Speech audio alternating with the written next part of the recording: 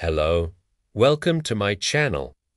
A few weeks ago, my attention was drawn to a news article that claimed researchers had finally found evidence for the observer effect.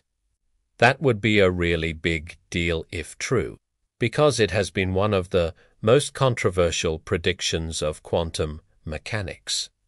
But is it actually what the article said? Let's have a look.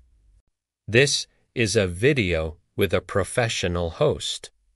The title of the article is Evidence for Observer Effect in Wave Function Collapse. And the authors themselves are calling it just that the first evidence for the observer effect.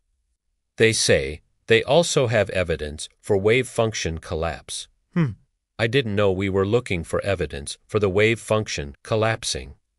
I thought we were looking for evidence for the observer effect. If you follow this channel, then you know that I'm not much of a fan of the interpretation debate. It's not that I don't think it's an interesting topic. It's just that I think it's very unlikely that it will ever lead to anything useful. However, I make an exception for the observer effect because it asks such a neat example for how the mind of the measurer plays a role in quantum mechanics. That S. Wyatt made me curious whether there might now be evidence for the observer effect after all these years. But then again, when I read the paper, I realized that what they've done is basically what physicists do best. They've invented a new word. In this case, the new word is the collapse of the wave function. They use this as a synonym for the observer effect.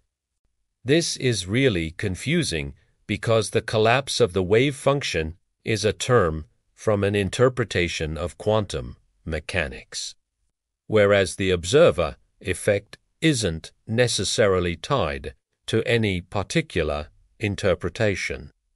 So let's first sort this out by looking at what both terms mean. The collapse of the wave function refers to the idea that if you take a quantum system and let it interact with something big, like a measuring device, then the wave function of the system suddenly goes over into a state that only contains one outcome of the measurement.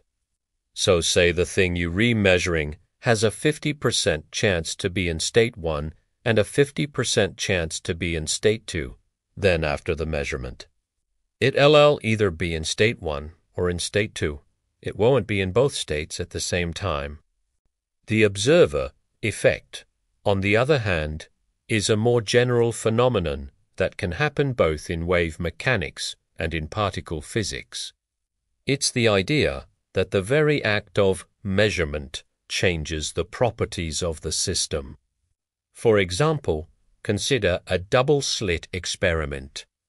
You shoot one particle at a time through the slits, and each time you get an interference pattern. But if you put detectors at the slits to measure which slit the particles go through, then the interference pattern goes away. Whether or not you look at the detector is irrelevant. The very act of putting the detector there changes the behavior of the particles. That's the observer effect. It has nothing to do with interpretations of quantum mechanics. In the case of the news article, what they did is they looked at quantum dots. These are tiny semiconductors. Like the size of a quantum, compared to a soccer ball, is roughly the same as the soccer ball compared to the entire Earth. Because quantum dots are so small, their properties are very different from those of bigger semiconductors. For example, they exhibit quantum effects like the double slit experiment does. If you shoot them one at a time through a double slit, you get an interference pattern. They also have a very peculiar property that they exhibit this interference pattern only once. After that, they change their properties in a way that depends on how exactly you measure them. What the authors of the new paper did is that they measured these quantum dots with two different devices. One device measured the energy of the light that the quantum emitted. The other one measured the polarization of this light. They found that the results of these measurements depend on what the other measurement does. If they measure energy, then polarization doesn't fluctuate as much. If they measure polarization, then energy doesn't fluctuate as much. What this means is that the very act of measurement changes the properties of the quantum dot. This is the observer effect. The authors argue that this observer effect is related to the collapse of the wave function, but this is not generally the case. As I said before, the observer effect can happen both in wave mechanics and in particle physics. It's not an interpretation specific effect. So, what the authors really did is they provided the first evidence for the observer effect in quantum optics. Congratulations! But this is not evidence for the collapse of the wave function. I find it somewhat problematic that they're using this different terminology because it will only sow confusion. There's no need to do this. We already have perfectly good words like the observer, effect. Why introduce a new word that could potentially be misinterpreted?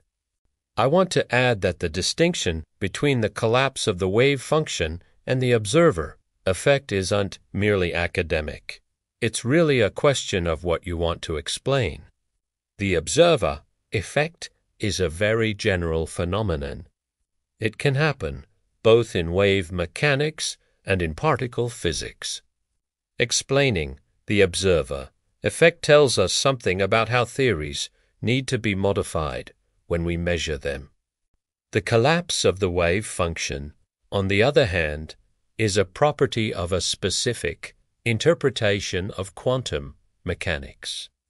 To explain the collapse of the wave function tells us something about this specific interpretation.